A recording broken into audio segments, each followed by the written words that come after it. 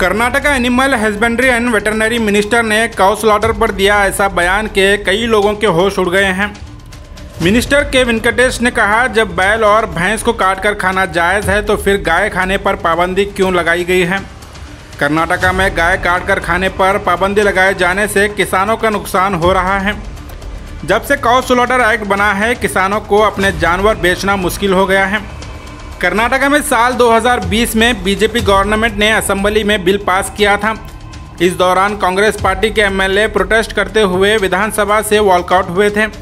इस बार assembly election में बहुमत के साथ सरकार बनाने के बाद Congress party cow slaughter act को पूरी तरह से ख़त्म करने की कोशिश में लगी है। Animal husbandry and veterinary minister ने कहा, जिस तरह बैल और भैंस को खाने की इजाज़त है, उसी तरह गाय को भी खाया जा सकता है। गाय बेचने से किसानों के हज़ारों परेशानियाँ दूर हो सकती हैं। काउ स्लॉटर कानून सबसे ज़्यादा किसानों को नुकसान पहुँचा रहा है। मिनिस्टर के वेंकटेश के बयान पर आस्था की आड़ में कई नफरती बयान जारी हुए हैं। Ex chief minister Basavaraj Bommai के अलावा कई दीगर पॉलिटिशियंस गौ माता के नाम पर अपनी अपनी रोटियाँ सेक रहे हैं। आइए तफसील में सुनते हैं मिनिस्टर के वेंकटेश ने काउ स्लॉटर पर क्या कहा है। This video presented by Sri Basveshwar Medical and General Store, providing the highest quality and 100% genuine medicines. 24 into 7 hours medical is open and free home delivery also available. Medicines at your doorstep. Opposite Basveshwar Hospital, Sedham Road, Kalburgi. ಅದೇನೇ ದುಡ್ಡಿಲ್ಲ ಕೊಟ್ಟಿಲ್ಲ ಅವರು ದುಡ್ಡು ಕೊಟ್ಟಿಲ್ಲ ಅದನ್ನ ನಾನು ಹೇಳಿದ್ನಲ್ಲ ದುಡ್ಡು ಬಜೆಟ್ ಭಾಳ ಕಡಿಮೆ ಮಾಡಿದ್ದಾರೆ ಅಂತೇಳಿ ನಾವಿನ್ನೂ ತೀರ್ಮಾನ ತಗೊಂಡಿಲ್ಲ ಅವ್ರು ಹಿಂದೆ ಇದ್ದಾಗ ಬಿ ಜೆ ಪಿಯವ್ರು ಏನು ಮಾಡಿದ್ದಾರೆ ಅವರು ಒಂದು ಇತ್ತಾಗ ಬಿಲ್ ತಂದ್ರಲ್ಲ ಅದರಲ್ಲಿ ಅವರು ಈ ಎಮ್ಮೆಗಳಿಗೆ ಕೋಣ ಮತ್ತು ಎಮ್ಮೆಗಳಿದೆಯಲ್ಲ ಅದನ್ನು ಇದನ್ನು ಮಾಡಲಿಕ್ಕೆ ಅವಕಾಶ ಕೊಟ್ಟಿದ್ದಾರೆ. ಹಸುಗಳು ಮಾಡಬಾರ್ದು ಅಂತ ಹೇಳಿದ್ದಾರೆ. ಅದ್ರ ಬಗ್ಗೆ ಈಗ ನಾವು ಚರ್ಚೆ ಮಾಡೋ ತೀರ್ಮಾನ ಈಗ ಎಮ್ಮೆ ಕೋಣ ಕಡಿಯೋದಾದ್ರೆ ಹಸು ಯಾಕೆ ಕಡಿಬಾರ್ದು? ವಯಸ್ಸಾಗಿರೋ ವಯಸ್ಸಾಗಿರೋ ಈಗ ಅವ್ರು ಎಮ್ಮೆನ ಎಮ್ಮೆನ ಕೋಣನ ಕಡಿಯೋಕ್ಕೆ ಅವಕಾಶ ಕೊಟ್ಟಿದ್ರೆ ಹಸುನ ಯಾಕೆ ಕಡಿಬಾರ್ದು ಅಂತ ಪ್ರಶ್ನೆ ಬಂದೇ ಬರ್ತದೆ ಅದ್ರ ಬ ಭಾಳ ಇಂಪಾರ್ಟೆಂಟ್ ರೈತರು ಅದನ್ನ ವಯಸ್ಸಾದ್ಮೇಲೆ ಸಾಕಕ್ಕೂ ಆಗ್ತಾ ಇಲ್ಲ ಭಾಳ ಜನಕ್ಕೆ ರೈತರಿಗೆ ತೊಂದರೆ ಆಗಿ ಅದಕ್ಕೆ ಆ, ಏನು ಉಪಯೋಗನೂ ಆಗ್ತಾ ಇಲ್ಲ ಈಗ ನ- ನಂದೇ ಒಂದು ಉದಾಹರಣೆ ಹೇಳ್ತೀನಿ ನಿಮಗೆ. ನಮ್ಮನೇಲಿ ಒಂದು ಮೂರ್ನಾಲ್ಕು ಹಸು ಇದೆ. ಒಂದು ಹಸು ತೀರೋಗ್ಬಿಡ್ತು ಅದನ್ನು ಏನು ಮಾಡೋದು ಏನು ನನಗೆ ಗೊತ್ತಾಗ್ಲಿಲ್ಲ ಏನು ಮಾಡೋದು ಏನು ಮಾಡೋದು ಅಂತೇಳಿ ಆಮೇಲೆ ನಾನು ಡಾಕ್ಟ್ರ್ ಕರೆದು ಕೇಳಿಸ್ದಾಗ ಏನು ಮಾಡೋಕ್ಕಾಗಲ್ಲ? ನೀವು ಗುಂಡಿ ತೆಗೆದು ಹೂಡಿಸ್ಬೇಕು ಅಂದರು. ಹೂಡ್ಸೋಕ್ಕೆ ಅಂದರೆ ಎತ್ತ ಒಂದು ಇಪ್ಪತ್ತೈದು ಜನ ಕರೆದು ಎತ್ತಕ್ಕಾಗಲಿಲ್ಲ ಅದನ್ನ ಜೆ ಸಿ ಬಿ ಕರೆಸಿ ಜೆ ಸಿ ಬಿ ಕರೆದು ಗುಂಡಿ ತೆಗೆಸಿ ಉಣಿಸ್ದೆ ಅದರ ಎಕ್ಸ್ಪೀರಿಯೆನ್ಸ್ ನಾನು ಹೇಳಿದ್ದು ನಿಮಗೆ. ಹೀಗಾಗಿ ಹಾಂ.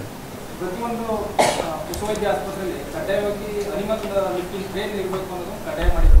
ಎಷ್ಟಿದೆ ಸರ್ ರಾಜ್ಯದಲ್ಲಿ? ಅದಿನ್ನೂ ಲೆಕ್ಕ ಸಿಕ್ಕಿಲ್ಲ ನನಗೆ. ಅದು ಲೆಕ್ಕ ಸಿಕ್ಕಿಲ್ಲ ನನಗೆ ಲೆಕ್ಕ ಸಿಕ್ಕಿಲ್ಲ ಯಾವುದು? ಇಲ್ಲ ಅದ್ರ ಬಗ್ಗೆ ಈಗ ನಾವೊಂದು ತೀರ್ಮಾನ ತಗೋಬೇಕಾಗತ್ತೆ. ಈಗ ಹಿಂದೆ ಏನು ಬಿ ಜೆ ಪಿ ಬಿಲ್ ತಂದಿದೆ ಎಮ್ಮೆ ಮಾತ್ರ ಕಡಿಬೋದು ಕೊಣ ಕಡಿಬೋದು ಹಸು ಕಡಿಯೋಂಗಿಲ್ಲ ಅಂತ ಹೇಳಿ ಅದ್ರ ಬಗ್ಗೆ ನಾವು ಏನೋ ಒಂದು ತೀರ್ಮಾನ ಮಾಡಬೇಕಾಗತ್ತೆ. ಏನೋ ವಿಲ್ ಟೇಕ್ ಡಿಸಿಷನ್ ಮುಂದೆ ಇನ್ನು ಅದ್ರ ಬಗ್ಗೆ ಚರ್ಚೆ ಆಗಿದೆ. ಮಾಡಿ ಏನಾದರೂ ಒಂದು ಚರ್ಚೆ ಮಾಡಬೇಕು ಅದ್ರ ಬಗ್ಗೆ ನಾವು. ಚರ್ಚೆ ಮಾಡಿ ತೀರ್ಮಾನ ತಗೋಬೇಕು. ನಮ್ಮಲ್ಲೇನು ಬಂದಿಲ್ಲ ಅಮೂಲ್ ಅವ್ರದ್ದೇನು ಇದುವರೆಗೆ ಬಂದಿಲ್ಲ. ಏನೋ.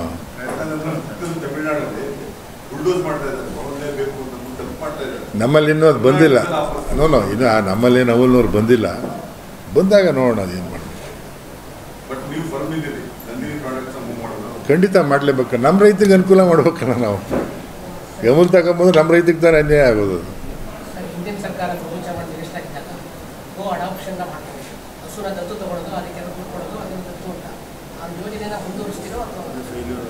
ಅದೆಲ್ಲಿ ಈಗ ಎಲ್ಲಿ ದತ್ತು ತಗೊಳ್ಳುವಂತ ಯಾರ್ಯಾರು ಇದ್ದಾರೆ ನೋಡ್ಬೇಕಲ್ಲ ದತ್ತು ತಗೊಳ್ಳುವಂಥವ್ರು ಸ್ಕೀಮ್ಗಳು ಭಾಳ ಇದ್ದಾವೆ ಇಲ್ಲಿ. ಬಟ್ ಅನುಷ್ಠಾನ ಭಾಳ ಕಡಿಮೆ ಆಗಿದೆ. ನೋಡೋಣ ಅದು ಏನಾಗುತ್ತೆ ಅಂತ.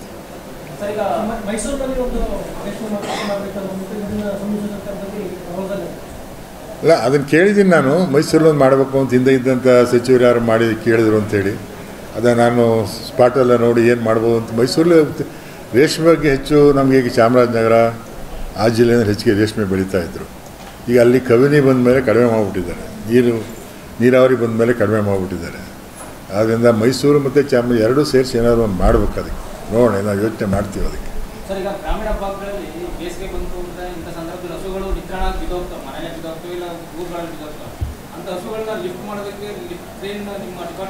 ನೀವು ಕೇಳಿದ್ರಿ ನನಗೆ ಅದು ಕರೆಕ್ಟಾಗಿ ಗೊತ್ತಿಲ್ಲ ತಿಳ್ಕೊಂಡು ಹೇಳ್ತೀನಿ. ಎಲ್ಲ ಆಸ್ಪತ್ರೆಯಲ್ಲಿ ಸ್ಕ್ರೀನಿಂಗ್ ಇಡೋಕ್ಕಾಗುತ್ತೆ. ಒಂದೊಂದು ತಾಲೂಕಲ್ಲಿ ಒಂದೊಂದು ಕ್ಲೀನ್ ಇಡೋಕ್ಕೆ ಸಾಧ್ಯ ಇದೆ ಮಾಡ್ಬೋದು ಎಲ್ಲ ಆಸ್ಪತ್ರೆ ಒಂದೊಂದು ಕ್ಲೀನಿಂಗ್ ಇಡೋಕ್ಕಾಗುತ್ತೆ? ನೀವು ಹೇಳಿದ ಅರ್ಥ ಆಯ್ತು ನನಗೆ. ಈಗ ಅದನ್ನೇ, ಈಗ ಕ್ರೇನ್ ಎಲ್ಲ ಕ್ರೇನ್ ಇಡಬೇಕು ಅಂತ ಅಂದರೆ ನಾವು ಎಲ್ಲ ತಾಲ, ಎಲ್ಲ ಆಸ್ಪತ್ರೆಗೆ ಒಂದೊಂದು ಕ್ರೇನ್ ಇಡೋಕ್ಕಾಗಲ್ಲ. ಒಂದೊಂದು ತಾಲೂಕು ಒಂದೊಂದು ಕ್ರೇನ್ ಇಡ್ಬೋದು. ಈಗ ದಿನ ಸಾಯ್ದಲ್ಲಿ ಯಾವುದು ಸತ್ತಾಗ್ತಾನೆ ಏನು ಮಾಡೋಕ್ಕಾಗಲ್ಲ, ಅದನ್ನೇ ಉಪಯೋಗಿಸ್ಬೇಕಲ್ಲ. ಎಲ್ಲದ ಎಲ್ಲಾದ್ರೂ ಒಂದು ಕ್ರೇನ್ ಇಡೋಕ್ಕೆ ಹೆಂಗೆ ಸಾಧ್ಯ ಆಗುತ್ತೆ ಸರ್ ಭಾಳ ಜನ ಟ್ರೈನಿಂಗ್ ತಗೊಂಡಿದ್ದಾರೆ ನಿಮ್ಮಲ್ಲಿ ವೆಟರ್ನರಿ ಇನ್ಸ್ಪೆಕ್ಟರ್ಸ್ ಹತ್ರ ಟ್ರೈನಿಂಗ್ ಭಾಳ ವರ್ಷಗಳಿಂದ ರಿಕ್ರೂಟ್ಮೆಂಟ್ ಆಗಿರೋದಿಲ್ಲ ಅವ್ರಿಗೆ ಟೆಂಪ್ರರಿ ತಗೊಂಡು ಅದನ್ನ ವಿಚಾರ ಅವ್ರನ್ನ ಇದು ಮಾಡೋದು ಇಲ್ಲ, ಅದ್ರ ಬಗ್ಗೆ ನಾವು ಒಂದ್ಸಲ ಡಿಸ್ಕಸ್ ಮಾಡಬೇಕು, ಮುಖ್ಯಮಂತ್ರಿಗಳ ಜೊತೆ ಮಾತಾಡೋ ಒಂದು ತೀರ್ಮಾನ ತಗೋಬೇಕಂತ. ನಾನು ಹೇಳಿದ್ನಲ್ಲ ಭಾಳ ನಮ್ಮಲ್ಲಿ ಭಾಳ ವೇಕೆನ್ಸೀಸ್ ಇದೆ, ಏನು? ಈ ವೇಕೆನ್ಸಿಗಳಿಂದ ಅವ್ರು ಹೇಳೋದು ನಮ್ಮ ಇಲಾಖೆ ಮುಖ್ಯಸ್ಥರು ಹೇಳೋದು ನಾವು ಇದು ಈ ಕಾರಣದಿಂದ ನಾವು ಕರೆಕ್ಟ್ ಸರಿ, ಸಮಯಕ್ಕೆ ಸರಿಯಾಗಿ ನಾವು ರೈತರ ಸಮಸ್ಯೆಗೆ ನಾವು ಬಗ್ಗೆ ಅಟೆಂಡ್ ಮಾಡೋಕ್ಕಾಗ್ತಾಯಿಲ್ಲ ಅದರಿಂದ ರಿಕ್ರೂಟ್ಮೆಂಟ್ ಭಾಳ ಅಗತ್ಯ ಇದೆ ರಿಕ್ರೂಟ್ಮೆಂಟ್ ಮಾಡಿಸ್ಬೇಕು ಸರ್ ಅಂತ ಒತ್ತಾಯ ಮಾಡ್ತಾ ಇದ್ದಾರೆ. ಮೊದಲನೇ ಅಂತೂ ನಾಲ್ಕು ಜನ ಡಾಕ್ಟ್ರುಗಳಾಗ್ತಾ ಇದೆ. ಮತ್ತು ಮುಖ್ಯಮಂತ್ರಿಗಳ ಜೊತೆ ಮಾತಾಡಿನ ಹೆಚ್ಚಿಗೆ. ಈ ಕಾಂಪೌಂಡರ್ಗಳು ಲೈಫ್ ಸ್ಟಾಕ್ ಇನ್ಸ್ಪೆಕ್ಟರ್ಗಳೆಲ್ಲ ಇದ್ದಾರೆ ಅವ್ರನ್ನ ಅಪಾಯಿಂಟ್ ಮಾಡ್ಬೇಕಂತ.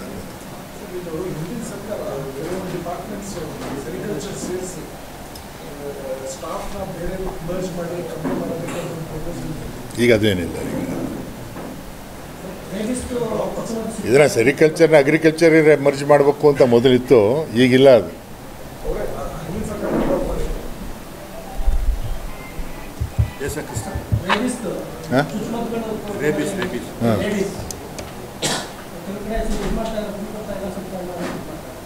ಕೇಳಿಸ್ತಿಲ್ಲ. ಹೌದೌದು ಅದನ್ನು ಕೊರತೆ ಇದೆ. ಅದನ್ನು ಕೊರತೆ ಇದೆ. ಅದನ್ನು ಸಹ ಈಗ ಅದೇ ಹೇಳಿದೆ ನಿಮಗೆ. ನಮ್ಮತ್ತಲ್ಲಿ ಸ್ಟಾಕ್ ಭಾಳ ದೊಡ್ಡದಿದೆ ಇಲಾಖೆ ದೊಡ್ಡದಿದೆ. ಹಣ ಕಡಿಮೆ ಇದೆ. ಏನು? ಇದೆಲ್ಲ ಚರ್ಚೆ ಮಾಡಬೇಕು ಈಗ ಮುಖ್ಯಮಂತ್ರಿಗಳಂತ ಯಾಕೆ? ಹಾಂ?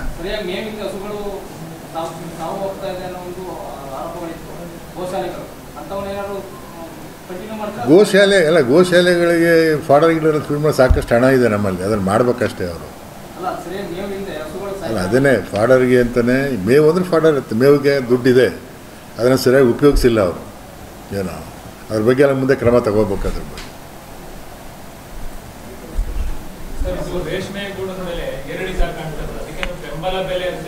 ಅದೇನೇ ಈಗ ಹೇಳಿದ್ನಲ್ಲ ಕೆ ಎಸ್ ಎಂ ಡಿ ಅಂತೇಳಿ. ನಾವು ಇಂಟರ್ಫಿಯರ್ ಅದನ್ನೇ ಇಂಟರ್ಫಿಯರ್ ಆಗ್ತಾ ಇರೋದು ಈಗ. ಹಾ. ನಾವೇ ನಾವು ಇಂಟರ್ಫಿಯರ್ ಆದ್ರಿಂದ ರೇಟ್ ಜಾಸ್ತಿ ಆಗುತ್ತೆ ಅಂತ ರೈತರು ಹೇಳ್ತಾರೆ.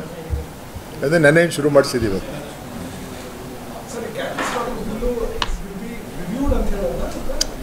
ಇನ್ನು ಅದ್ರ ಬಗ್ಗೆ ನಾವು ಚರ್ಚೆ ಮಾಡಿಲ್ಲ. ಏನು ಏನು ಮಾಡಬೇಕು ಅಂತ ಚರ್ಚೆ ಮಾಡಿಲ್ಲ ನಾವು. ಅವ್ರು ಬಿಲ್ ತಂದಿರೋದು ಸಮ್ಮರಿ ಹೇಳಿದೆ ನಿಮ್ಗೆ ಏನು ಬಿಲ್ ತಂದಿದ್ದಾರೆ ಅಂತ. ಹೌದೌದು ವಿರೋಧ ವಿರೋಧ ಮಾಡಿದ್ದೀವಿ. ಅಲ್ಲ, ಮುಂದೆ ಏನು ಅದ್ರ ಬಗ್ಗೆ ಚರ್ಚೆ ಆಗಿಲ್ಲ. ನಾವಿನ್ನು ಈಗ ಐದು ಗ್ಯಾರಂಟಿಗಳ ಬಗ್ಗೆನೇ ಇದ್ದೀವಿ ಏನೋ ಚರ್ಚೆ ಮಾಡಿ ನೋಡೋಣ, ಮುಂದೆ ಬಂದಾಗ ಚರ್ಚೆ ಮಾಡ್ತೀವಿ.